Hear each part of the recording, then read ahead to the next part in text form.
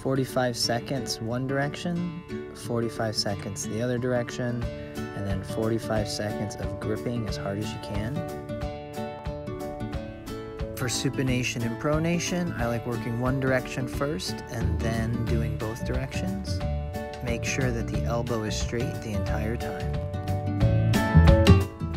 You can also add ulnar deviation, as demonstrated here, and radial deviation. This is by far one of my favorite wrist extensor exercises. You work downward all the way towards the ground, then you have to work all the way back up. Notice how the string is on the outside, not the inside facing him. That's going to make sure you work your wrist extensors. Once weight bearing became less painful or non-painful, we started with these type of exercises, working the flexors and extensors. Once again, making sure your elbows are straight the entire time.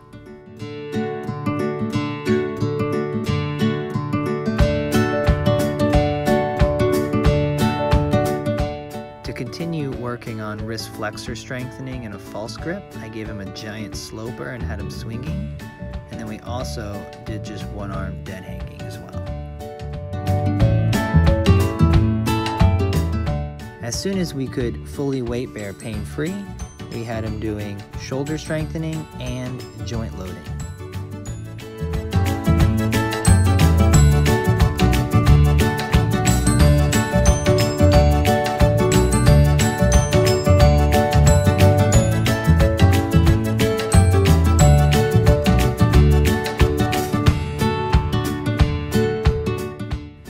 Here's another weight bearing exercise I like to add because there's different grips and different angles of weight bearing.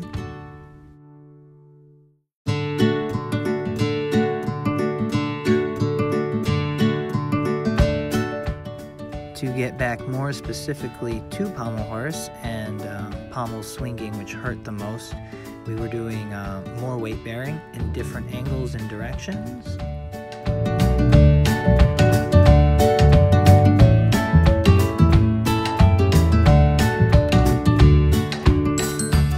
In about two weeks with manual therapy and the strengthening exercises and progressions, we got him not only swinging in a bucket, but back on horse pain free.